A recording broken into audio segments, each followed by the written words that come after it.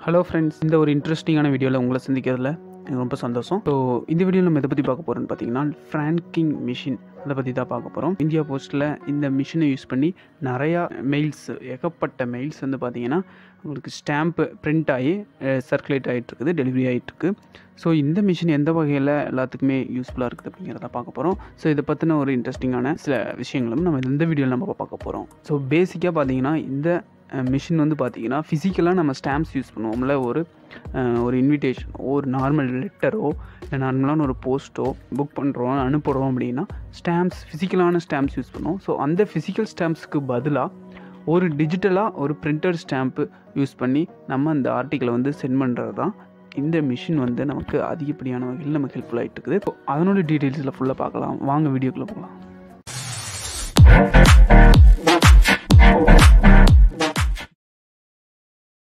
So first of all இந்த device எல்லாம் பார்த்தீங்கன்னா யாரெல்லாம் யூஸ் பண்ணலாம்னு பார்த்தீங்கன்னா ஒரு இண்டிவிஜுவலாக யாராச்சும் யூஸ் பண்ணணும்னு நினச்சாலும் யூஸ் பண்ணலாம். ஒரு கமர்ஷியலாக தேவைப்படுதுனாலும் யூஸ் பண்ணலாம். ஒரு டிபார்ட்மெண்டல் பர்பஸ்க்காகவும் அதாவது கவர்மெண்ட் யூஸ்க்காகவோ இல்லை பேங்க் யூஸ்க்காகவோ எய்டட் இன்ஸ்டிடியூஷன்ஸ்க்காகவோ கோஆப்ரேட்டிவ் பேங்க் சொசைட்டிக்கு தேவைப்படுதுனாலும் இந்த மிஷினுக்கு வந்து லைசன்ஸ் தருவாங்க. ரெண்டு டைப்ஸ் இருக்குது மெயினாக இஎஃப்எம் அதாவது எலக்ட்ரிக்கல் எலக்ட்ரிக் ஃப்ராங்கிங் மிஷின் இன்னொன்று பார்த்தீங்கன்னா ஆர்எம் எஃப்எம் ஸோ அது வந்து பார்த்தீங்கன்னா remotely manager franking machine so இந்த ஆர்எம்எஃப்எம் தான் பெரும் அதிகப்படியாக யூஸ் ஆகிட்டு இருக்குது ஸோ முதல்ல தான் இந்த இஎஃப்எம் யூஸ் ஆகிட்டு இருந்தது அது வந்து பழைய மாடல் ஓல்டு மாடல் அது மேனுவல் ப்ராசஸில் யூஸ் பண்ணக்கூடியது. ஸோ இப்போ இருக்கிற ஆர்எம்எஃப்எம் தான் ஃபுல்லாகவே டிஜிட்டலான ஒரு மிஷினு ஸோ அதில் வந்து டியூடி பார்கோடு வந்து கம்பைன் ஆகிருக்கும் அது வந்து பார்த்திங்கன்னா பிரைட் ப்ளூ கலர் இம்ப்ரெஷன் தரும். ஸோ அதாவது அந்த பிரிண்ட் ஆகிருக்கிற அந்த மேலே சர்ஃபேஸ் பார்த்தீங்கன்னா இந்த பிரைட் ப்ளூ கலரில் இருக்கும். நம்ம அமௌண்ட் வந்து பார்த்திங்கன்னா ஆட்டோமேட்டிக்காக அதே லோட் பண்ணிக்கலாம். ஆன்லைன்லேயோ இல்லை ஆட்டோமேட்டிக் ப்ராசஸ்லேயோ பண்ணிக்கலாம். ம- ஒரு சிங்கிளாவோ இல்லை ஒரு குறிப்பிட்ட தொகையில் நம்மளை நம்மளாலேயே ஸ்டாம்ப் ஸ்டிக் பண்ணி அனுப்பலாங்கிற ஒரு ஆர்டிக்கல்லாம் பார்த்திங்கன்னா பார்த்தீங்கன்னா ஈஸியாக நம்ம ஸ்டாம்ப் நம்ம பர்ச்சேஸ் பண்ணி அதே ஸ்டிக் பண்ணி அனுப்பலாம். பட் நம்ம ஒரு அதிகப்படியான ஒரு பிஸ்னஸ் பர்பஸ்க்காகவோ இல்லை இன்விடேஷன் நம்ம நிறைய பேர்த்துக்கு அனுப்புறதுக்காகவோ ஏதோ ஒரு க்ரீட்டிங்ஸ் அனுப்புறதாவோ நிறையா ஏகப்பட்ட பண்டிலில் ஒரு அனுப்புகிறீங்களோ இப்போ எக்ஸாம்பிள் நம்ம நிறைய பேங்க்ஸில் ஸ்டேட்மெண்ட்ஸ் அனுப்புவாங்க. ரிமைன் லெட்டர்லாம் எல்ஐசியில் வரும். ஸோ அந்த மாதிரி ஃபிசிக்கலாக நம்மளால் ஸ்டிக் பண்ண முடியாத அந்த ஆர்டிகல்ஸ்க்கு வந்து இந்த டிவைஸ் வந்து கண்டிப்பாக யூஸ்ஃபுல்லாக இருக்கும். ஸோ இந்த டிவிஷனுக்கு பார்த்தீங்கன்னா மூணு வகையான லைசன்ஸ் இருக்குது. Individual and commercial and government department மூணு வகையான லைசன்ஸ் இருக்குது. ஸோ நீங்கள் இந்த இண்டிவிஜுவலுக்காகவும் கமர்ஷியல் லைசன்ஸும் பார்த்தீங்கன்னா இந்தியா போஸ்ட் வெப்சைட்டில் நீங்கள் அப்ளை பண்ணிக்கலாம். அதாவது நம்ம டிபார்ட்மெண்டல் லைசன்ஸ் ஏதாவது தேவைப்படுதுன்னா நீங்கள் போஸ்ட் ஆஃபீஸ் கவுண்டரில் போய் அப்ளை பண்ணிக்கலாம். ஸோ இந்த லைசன்ஸ் தர அத்தாரிட்டி யாருக்குள்ள இருக்குன்னு பார்த்தீங்கன்னா இண்டிவிஜுவல் அண்ட் கமர்ஷியல் லைசன்ஸ் பார்த்தீங்கன்னா superintendent of post chief post master இந்த மாதிரி ஹையர் அத்தாரிட்டிஸ்க்கு மட்டும்தான் ஒரு டிவிஷனோட ஹெட்டுக்கு தான் இதுக்கு வந்து பார்த்தீங்கன்னா அத்தாரிட்டி இருக்குது. இண்டிவிஜுவலுக்கும் கமர்ஷியல் லைசன்ஸுக்கும் டிபார்ட்மெண்டல் லைசன்ஸ்க்கு வந்து ரீஜனல் ஹெட் அதாவது பிஎம்ஜி நம்ம தமிழ்நாடு ரீஜன் ரீஜனல் ஹெட் அதாவது தமிழ்நாடு நாலு ரீஜன் இருக்குது. ஸோ அதில் இருக்கிற ஒவ்வொரு ரீஜனல் ஹெட்டுக்கு வந்து பார்த்தீங்கன்னா அத்தாரிட்டி இருக்குது. ஸோ இந்த லைசன்ஸ் ஃபீஸ் பார்த்தீங்கன்னா த்ரீ செவன்ட்டி ஃபைவ் ருபீஸு இது வந்து பார்த்தீங்கன்னா ஃபைவ் இயர்ஸ் வேலிட்டி இருக்கும். ரினியூவல் பார்த்தீங்கன்னா one month before expiry expiry ஆகிறதுக்கு ஒன் மந்த்துக்கு பிஃபோரே நீங்கள் ரினியூவல் பண்ணிக்கலாம். ஸோ இந்த ரினியூவல் பண்ண தவறுனா பெனால்ட்டி வந்து ஹண்ட்ரட் ருபீஸ் ஸோ ஒருவேளை அந்த ரினியூவல் வந்து பார்த்தீங்கன்னா நீங்கள் பண்ணாமல் மூணு மந்த் ரினியூவல் பண்ணாமல் வச்சுருந்தீங்கன்னா ரினியூவல் பண்ணுறதுக்கான அலௌட் பண்ண மாட்டாங்க. ஸோ ஃபிஃப்டீன் டேஸில் பார்த்தீங்கன்னா உங்களுக்கு நோட்டீஸ் அனுப்பி இந்த என்டையர் லைசன்ஸை கேன்சல் பண்ணுறதுக்கான வாய்ப்புகள் இருக்குது. ஸோ டிபார்ட்மெண்டல் லைசன்ஸ் ஃபீஸ் பார்த்தீங்கன்னா கண்டிப்பாக கவுண்டரில் தான் கட்டி ஆகணும் ஸோ உங்களுடைய லைசன்ஸ் அப்ரூவ் ஆயிடுச்சுன்னா உங்களுக்கு கஸ்டமர் ரெஃபரன்ஸ் நம்பர் தந்துருவாங்க. அப்புறம் அந்த விண்டோ டெலிவரி டிக்கெட்டும் தந்துருவாங்க. ஸோ லைசன்ஸ் வந்து பார்த்தீங்கன்னா ஃபோர்டீன் ஒர்க்கிங் டேஸில் வாங்கிக்கலாம். ரினிவல் லைசன்ஸ் வந்து அஞ்சு ஒர்க்கிங் டேஸில் வாங்கிக்கலாம்.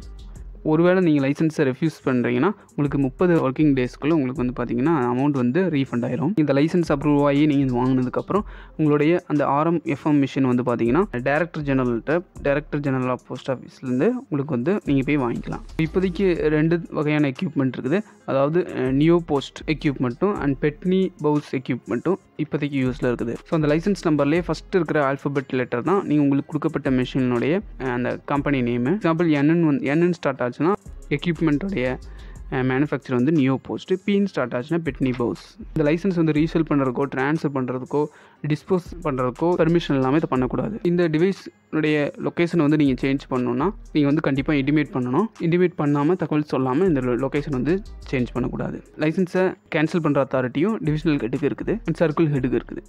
ஸோ இந்த லைசன்ஸ் இஷ்யூ பண்ணும்போது உங்களுக்கு அட்ரஸ் வெரிஃபிகேஷன் வந்து நெசசரி கிடையாது. பேங்க்குக்கோ கவர்மெண்ட் பப்ளிக் செக்டருக்கோ எய்டட் இன்ஸ்டியூஷனுக்கோ அட்ரஸ் வெரிஃபிகேஷன் கிடையாது.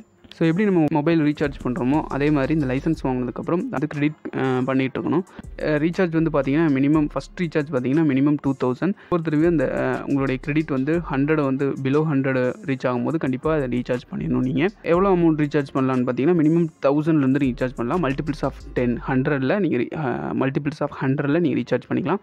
ஃபஸ்ட்டு ரீசார்ஜ் வந்து மினிமம் டூ தௌசண்ட் அப்புறம் ரினியூவல் பார்த்தீங்கன்னா பிலோ ஹண்ட்ரட் வரும்போது கரெக்டாக உங்களுடைய ரீசார்ஜ் வந்து மினிமம் தௌசண்ட் பே பண்ணி கட்டிக்கலாம். மேக்ஸிமம் வந்து எந்த லிமிட்டும் கிடையாது. ரீசார்ஜ் வந்து போஸ்ட் ஆஃபீஸ் கவுண்டர்லேயோ இந்தியா போஸ்ட் வெப்சைட்லையோ இல்லை ஸ்டேட் பேங்க் பிரான்ச்சஸ்லையோ நீங்கள் ரீசார்ஜ் பண்ணிக்கலாம். ரீசார்ஜ் பண்ணோன்னே உங்களுடைய அந்த ஆர்எம்எஃப்எம் மிஷின்லேயே ரிஃப்ளெக்ட் ஆயிரும். ஸோ இந்த ஆர்எம்எஃப்எம் மிஷின் வந்து பார்த்தீங்கன்னா நாளைக்கு த்ரீ டைம்ஸ் வந்து சிங்க் ஆகும். Nine thirty AM to ten AM and one PM to one thirty PM and four PM to four thirty PM daily உங்களுக்கு வந்து சிங்க் ஆகும். அந்த சிங்க் ஆகிற டைமில் உங்களுக்கு அந்த நீங்கள் கொடுத்த ரீசார்ஜ் கிரெடிட் வந்து உங்களுக்கு விசிபிள் ஆகும். நீங்கள் சிங்க் ஆனதுக்கப்புறம் அந்த மீட்டர்ஸ் ஆட்டோமேட்டிக்காக ரீசெட் ஆயிரும். ஸோ உங்களுக்கு ரிபேட் இருக்குது இதில் த்ரீ பர்சன்ட் ரிபேட் இருக்குது. ஸோ என்னென்ன ரெக்கார்ட்ஸ்லாம் நான் கஸ்டமர் மெயின்டைன் பண்ணணும்னு பார்த்தீங்கன்னா licence and window delivery ticket வந்து கண்டிப்பாக நீங்கள் ரொம்ப சேஃபாக வச்சுருக்கணும். ரெண்டு மெயின் ரெக்கார்ட்ஸ் வந்து பார்த்தீங்கன்னா ரெஜிஸ்டர் ஆஃப் போஸ்டிங்ஸும் யூசர் ரெக்கார்ட் புக்கும் இந்த ரெண்டு ஜேர்னல்ஸும் நீங்கள் கண்டிப்பாக மெயின்டைன் பண்ணுற மாதிரி இருக்கும். எவ்வளோ போஸ்ட் பண்ணுறீங்க எவ்வளோ புக் பண்ணுறீங்க இப்போ எப்போ ரீசார்ஜ் பண்ணுறீங்க அந்த மாதிரிலாம் நோட் பண்ணி வைக்கிற மாதிரி இருக்கும். அப்புறம் யூசரோட ரெக்கார்ட் புக்கை நீங்கள் மெயின்டைன் பண்ண வேண்டியதாக இருக்கும். ஆஃபீஸும் உங்களுக்கு ரெண்டு வகையான புக்ஸ் வந்து ரெக்கார்ட் மெக்க மெயின்டைன் பண்ணுவாங்க. ஒவ்வொரு தடவையும் நீங்கள் நம்பர் ஆஃப் ஆர்டிகிள்ஸை டிஸ்பேட்ச் பண்ணும் போதும் window delivery ticket and user record book and register of posting அந்த லிஸ்ட்டு இந்த மூணுமே முக்கியமாக நீங்கள் வந்து கவுண்டரில் ஷோ பண்ண வேண்டியதாக இருக்கும் காட்ட வேண்டியதாக இருக்கும் வெரிஃபிகேஷனுக்காக ஃப்ராங்கிங்கான ஃப்ராங்கிங் பண்ணுறதுக்கான சில கண்டிஷன்ஸ் இருக்குது. ஸோ அந்த யூசர் வந்து பார்த்தீங்கன்னா கண்டிப்பாக ஃப்ராங்க் பண்ணுறதுக்கு முன்னாடி வெயிட் பார்த்துட்டு ஆர்டிக்கல் வந்து என்ன டைப் அப்படிங்கிறத செலக்ட் பண்ணிவிட்டு ஃப்ராங்க் பண்ண வேண்டியதாக இருக்கும். ஃப்ராங்க் இம்ப்ரெஷன் வந்து எதில் இருக்கணும்னு பார்த்தீங்கன்னா ரைட் ஹேண்ட் சைடில் டாப் கார்னரில் தான் இருக்கணும். அதாவது அட்ரஸ் டூ அட்ரஸ் இருக்கிற சைடில் உங்களுக்கு வந்து அந்த இம்ப்ரெஷன் இருக்கணும்.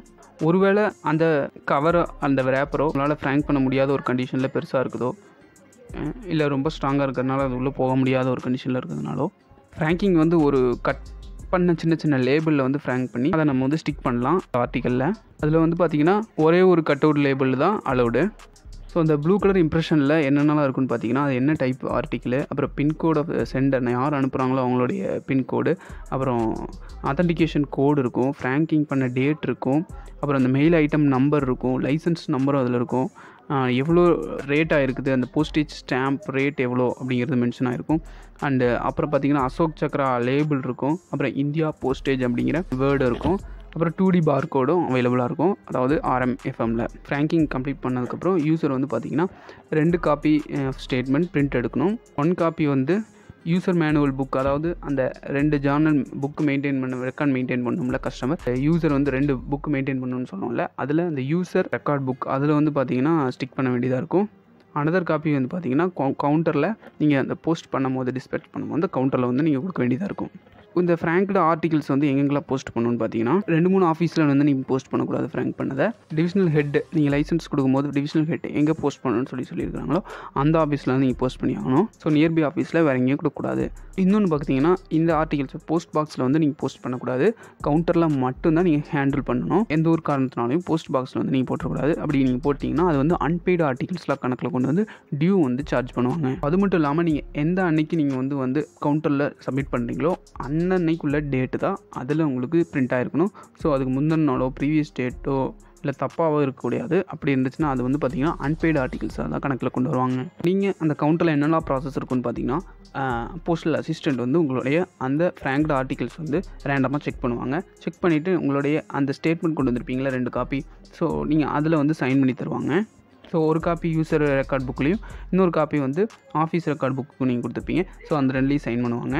ஸோ மேக்ஸிமம் நீங்கள் ஒரு நாளைக்கு மூணு டைம் வந்து இந்த ஃப்ராங்க்டு ஆர்டிக்கல் வந்து போஸ்ட் பண்ணுறதுக்கு நீங்கள் அலௌடு ஸோ இந்த ஃப்ராங்கிங் மிஷினால் நிறைய தொழில் நிறுவனங்களும் மட்டும் இல்லாமல் தனிப்பட்ட முறையில் நம்ம அனுப்பக்கூடிய ஒரு ஃபேமிலி ஃபங்க்ஷனுக்காக அனுப்பக்கூடிய அதிகப்படியான இன்விடேஷன்ஸ்க்கு வந்து நம்மளுடைய வேலைப்பளுவு வந்து கண்டிப்பாக கம்மியாகுது. ஸோ நம்ம அதிகப்படியான இன்விடேஷன்ஸ் மற்றும் க்ரீட்டிங்ஸ் ஸ்டேட்மெண்ட்ஸ் டியூ நோட்டீஸ் இந்த மாதிரி அனுப்ப வேண்டிய விஷயத்தில் நீங்கள் வந்து பண்டில் ஆஃப் லேக்ஸ் ஆஃப் ஹவர்ஸ்க்கு வந்து இந்த ஸ்டாம்பிங் மிஷின் ஈஸியான வேலையாக இருக்குது. இந்த விஷயத்தை வந்து நீங்கள் முடிஞ்ச அளவுக்கு நிறைய பேத்துக்கு ஷேர் பண்ணுங்கள் ஸோ கண்டிப்பாக இந்த விஷயம் வந்து உங்களுக்கு எல்லாத்துக்கும் ஹெல்ப்ஃபுல்லாக இருக்கும்னு நினைக்கிறேன். இந்த மாதிரி பல விஷயங்கள் வந்து சேனலில் நம்ம வந்து அப்லோட் அப்லோட் பண்ணிகிட்ருக்கோம் இந்த மாதிரி விஷயங்கள் நீங்கள் இனிமேல் நிறையா தெரிஞ்சுக்கணுன்னா நம்ம சேனலுடைய ஃபாலோ பண்ணுங்கள் நீங்கள் சப்ஸ்கிரைப் பண்ணுங்கள் அண்ட் பெல்லைக்கான கிளிக் பண்ணி வச்சுக்கோங்க. அப்போ தான் நம்ம போகிற வீடியோ அடிக்கடி உங்களுக்கு வந்து நோட்டிஃபிகேஷனாக வந்துடும் அப்போவே.